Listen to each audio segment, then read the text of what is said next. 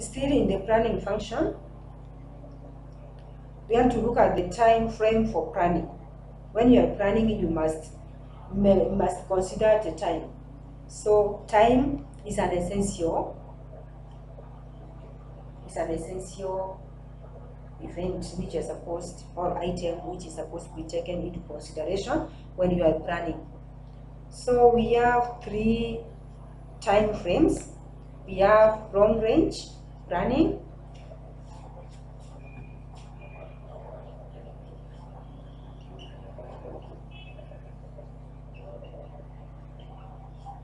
we have long range planning, we have intermediate,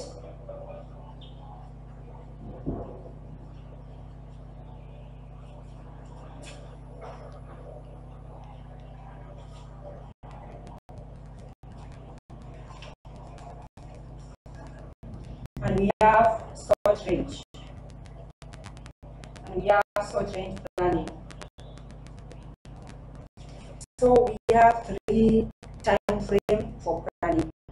Long range planning, intermediate planning, and also we have short range planning. So let us start with the long range planning. Long range planning covers several time periods. It covers several time periods. Mostly from five years to as long as several decades. So the minimum time limit is five years. And the maximum is unlimited. That's why we have said to as long as several decades. So you make a you develop a plan for the brand which is going to be executed for more than five years. More than five years. That is long range planning. This long range planning is developed by the top management. It is developed by the top management. Only top management. They are the ones who develop the long range planning. The second one is intermediate planning. Intermediate planning.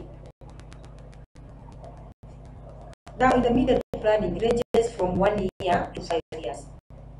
It ranges from one year to five years.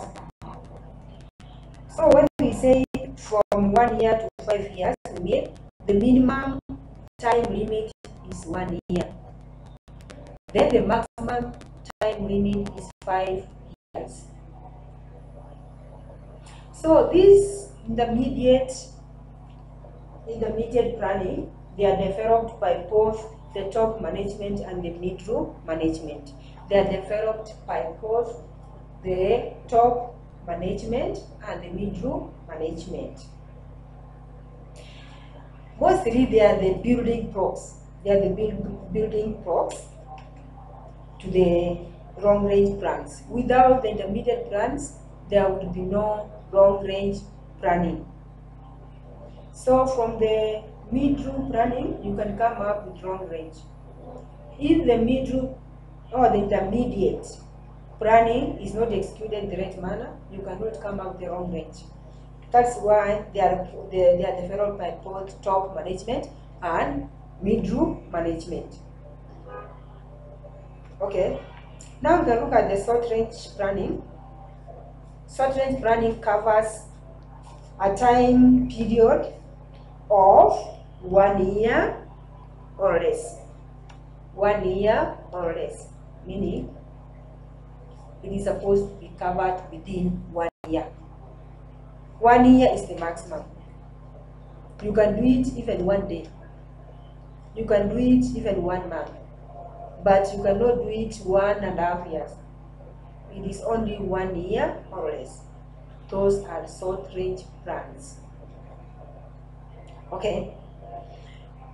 Mostly the short range plans, they focus on day to day activities. They focus on day to day activities.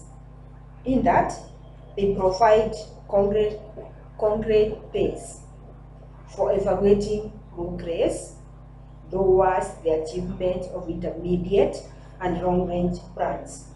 So, it is the base. Short range planning is the base for the intermediate and long range. That's why we are saying it is a concrete base. It is a concrete base which will, will, will assist you as a manager to evaluate the progress of the intermediate and long range planning. So they are supposed to be carried on day or can say daily. This for day to day activities. Day to day activities, meaning the activities which are being carried in an organization, mostly they fall under short range planning. You can be given a limit of one day, a limit of one week, or a limit of one month to accomplish the activities. Now I want us to look at the steps in the planning process. The steps in the planning process. We have eight steps in the in the planning process. Step number one, identification of opportunities. Step number one, identification of opportunities. You cannot start planning before you have opportunity. What are you supposed to do? You have what you are supposed to do for you to come up with the objectives to achieve. Okay, so identification of opportunity is the first step. Identify the opportunity. Identify what you want to do, the work which you want to do. Then step number two, now you establish objectives. Establishing of objectives. Establish objectives. You have the work. What, which results do you expect to achieve? Those are the objectives. Then you consider you consider the planning premises. Now consider the space. Where are you going to carry out the place, the, the location or the site where you are going to carry on the activities? That is the premises. So consider the planning premises. Then determine alternative courses. For example, you cannot come up with only one, one alternative. Come up with so many so many alternatives, so many types of work which you are supposed to perform. Then, when you come with so many, the next step is now you evaluate those objectives. Check whether they are right for you to select one. So come with so many objectives, so many opportunities, then select the valuable opportunity. Okay, that's step six. Select one course of action. So you have so many, you evaluate them, then you select one of them which is going to give you the best results. Then formulate derivative plans. Make sure you come out the plan which will make you to, to come out the right or desired objectives to achieve the desired objectives.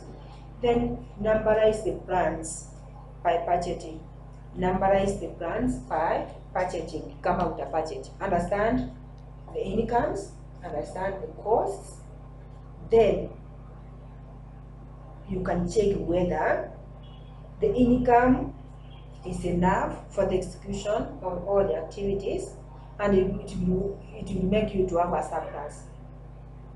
Or if they are, they are not enough, make sure you get enough look for the ways of getting enough income, understand the costs, understand the expenses which you are going to incur.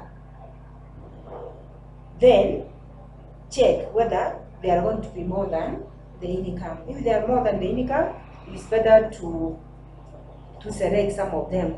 That's why we are saying numberize. Make sure you select some of them, leave the others, then follow a few of them the ones which can make you to achieve your objectives. That is the, those are the steps, the steps in the planning process.